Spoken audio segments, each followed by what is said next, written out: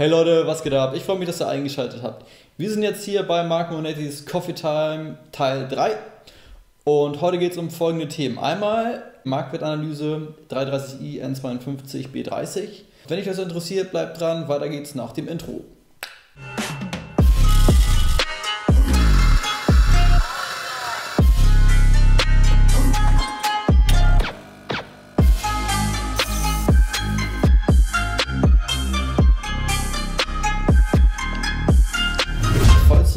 Wundert, warum jetzt hier so Blumen und sowas sind, liegt daran, ich hatte am Karfreitag Geburtstag, dieses Jahr am Karfreitag. Und das sind noch meine Geburtstagsblumen. Yeah! ja. Aber jetzt kommen wir zum Wesentlichen. Und zwar habe ich ja in den letzten Videos mein BMW vorgestellt und einmal meine Ausstattung gezeigt, welche Ausstattung er hat. Aufgrund dieses Videos ist ein ziemlich interessantes Thema entstanden und zwar die Marktbewertung oder Verkaufspreis vom 330i.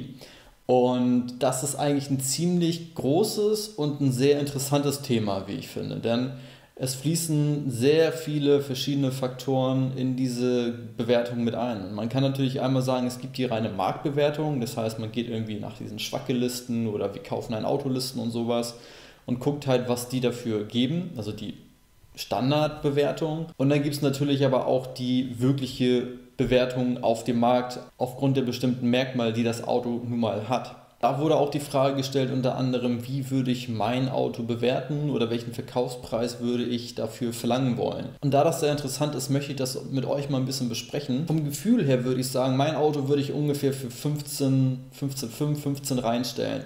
Und warum? Das sage ich euch jetzt. Der Punkt ist, es gibt wenig 330is auf dem Markt, gerade im i90 und auch sehr wenig gut erhaltene 330is und vor allem auch welche mit verhältnismäßig wenig Kilometern drauf. Und ich möchte mal folgendes machen jetzt mit euch zusammen. Und zwar will ich mal mobile.de anwerfen und mal euch so einen kleinen Eindruck verschaffen, wie das Ganze denn so aussieht und wie der Markt aussieht. Um das Ganze ein bisschen einzugrenzen, ich habe jetzt gesucht BMW 330i aus 2005 bis 2014, weil danach kamen die F30-Modelle, also die Vierzylinder 330i, die jucken uns ja nicht, also deswegen unwichtig. Autos mal gemacht bis 130.000 Kilometer, um mal so ein Gefühl dafür zu kriegen und natürlich nur Benziner und auch mal nur speziell nur N52B30, nicht die N53.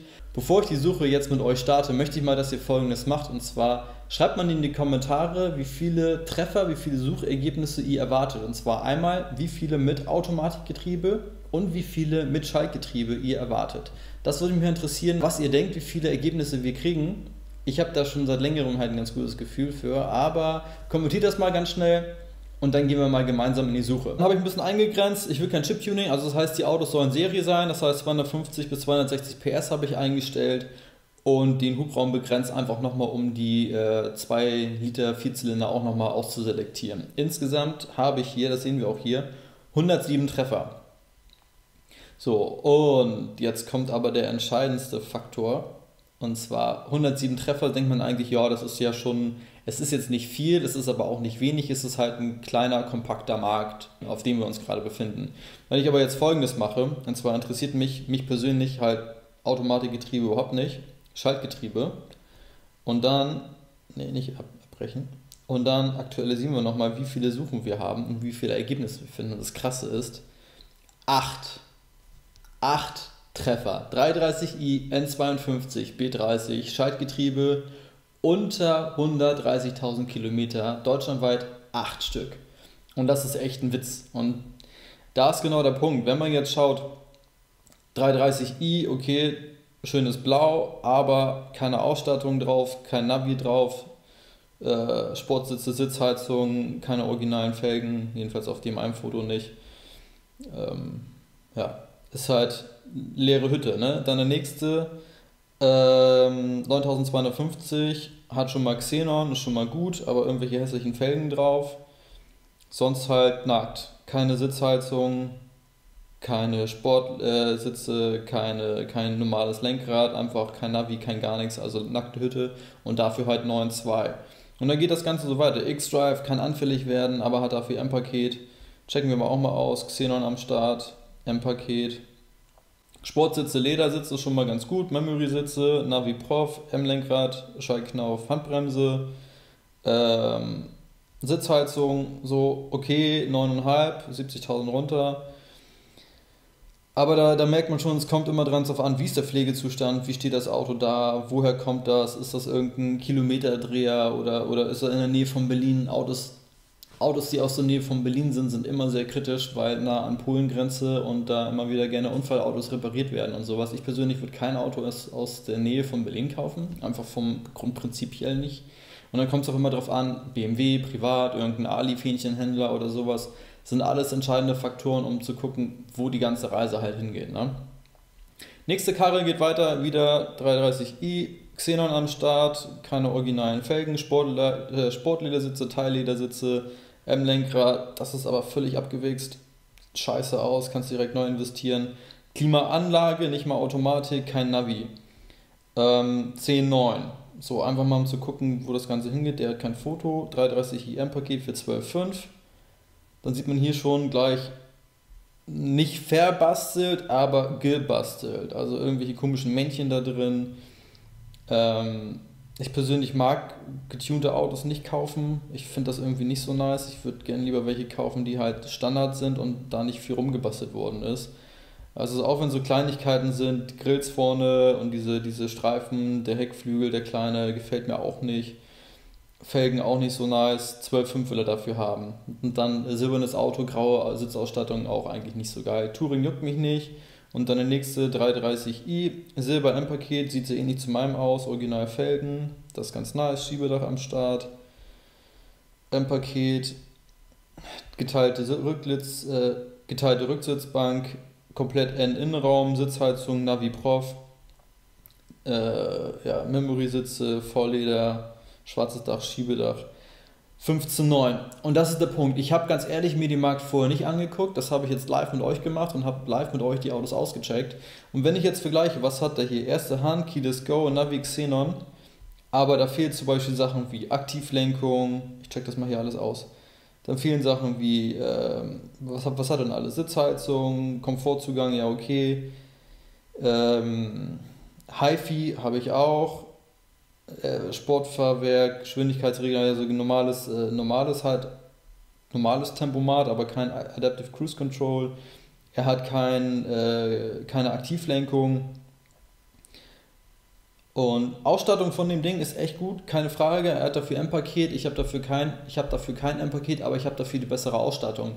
Und in diesem Zusammenhang würde ich einfach sagen, so gerade wenn man sich auf diese Autos beschränkt, ist es natürlich so, wenn du halt eine gute Ausstattung haben willst in dem Auto und du willst auch ein gut solides Auto haben, was nicht verbastelt ist, der letzte hier, der, der ähm, silberne mit M-Paket für 15,9, den finde ich echt ganz nice. Ne? Baujahr 0 2007, 120 gelaufen, erste Hand, eigentlich geil, Silber, Ausstattung ist echt, echt nice, aber kein ACC 15,9 und da ist genau der Punkt, da geht es halt hin, weil es ist der letzte Schalter, es ist der letzte reine BMW-Sauger, der auch keine Direktanspritzung hat, das heißt Sounderlebnis viel besser, technische Anfälligkeit viel, viel, viel geringer. Der hat so seine drei, vier kleine Kinderkrankheiten, aber die Technik in N53, da kann deutlich mehr in die Brüche gehen. Da habe ich auch von jemandem gerade eine echte große Misere.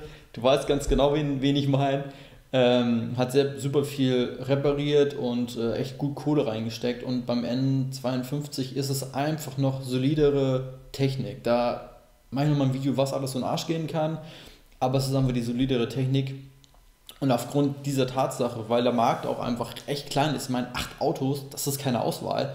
Mit acht Autos da einen guten zu finden, so würde sich auch der Preis zusammensetzen. 15,5, 15,9.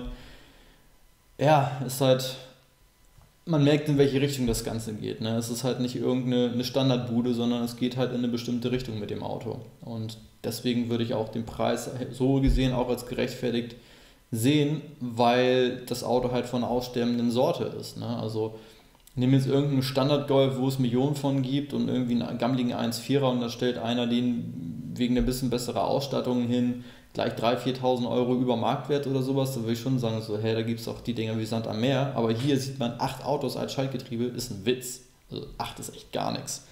Und ich kann natürlich die PS-Zahl hier mal aufmachen, um auch die N53 mit dazu zu holen. Und auch die Coupés und Cabrios. Cabrio war immer N53, aber Coupé auch N52 B30 mit 272 PS. Die habe ich jetzt mal komplett ausgeschlossen. Als Schaltgetriebe insgesamt 38. 38 Autos deutschlandweit N52 und N53 als Schaltgetriebe von den 330er Modellen.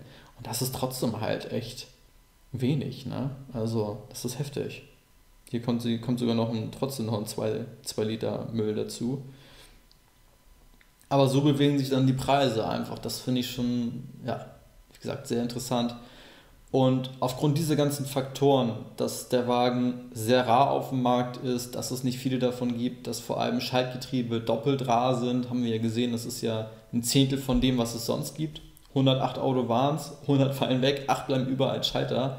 Das ist brutal. Und ja, gerade aufgrund dieser ganzen Faktoren, wo, wo halt die Autos sehr rar sind und wo man dieses spezielle Auto bzw. diesen speziellen Motor sucht, ist natürlich da der Markt dementsprechend auch höher bepreist. Ich kann es auch verstehen, wenn einer einen geleckten, gut dastehenden E46 330 Ci, also Coupé oder Cabrio, verkauft mit einer geilen Ausstattung, weil die Dinger sind rar, mit wenig Kilometer, gut gepflegt.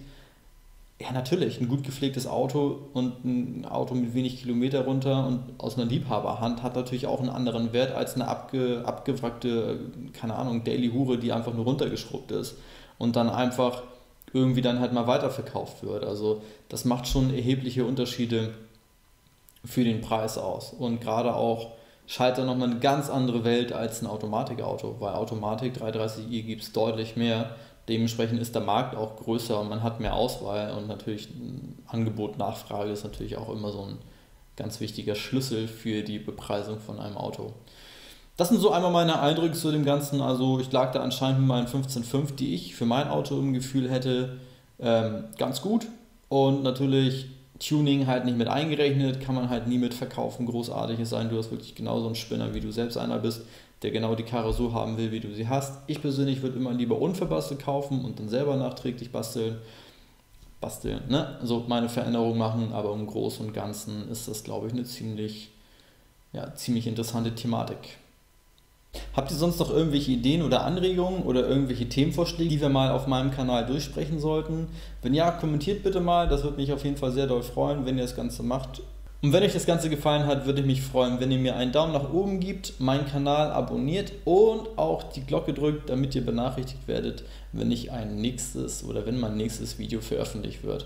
Ansonsten wünsche ich euch frohe Ostern, schöne Feiertage und fahrt vorsichtig. Bis dann, Peace kann ich das Mikrokeramik einfüllen in einen aktuell bestehenden Ölwechsel.